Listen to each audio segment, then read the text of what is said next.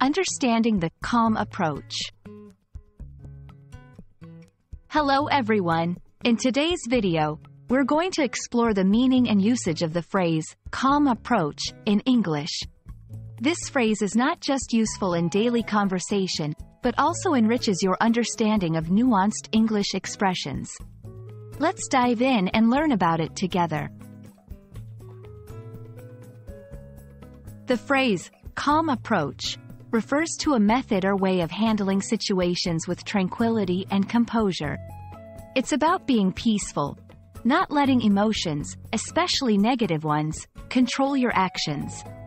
This approach is often admired and is seen as a sign of maturity and thoughtfulness.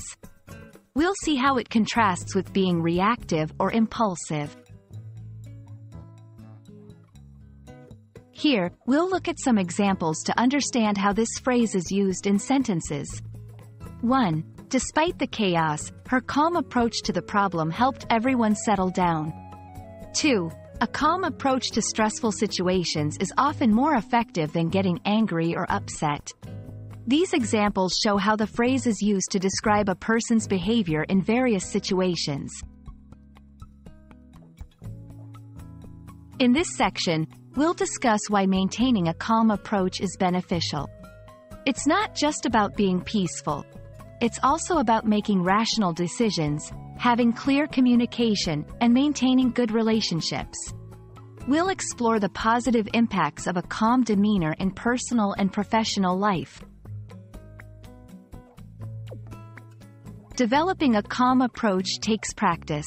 Here are some tips. Practice mindfulness and deep breathing.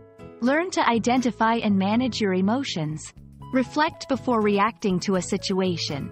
These strategies can help in cultivating a more composed and thoughtful response to life's challenges. Thank you for watching. I hope this video has helped you understand what a calm approach means and how you can apply it in your daily life.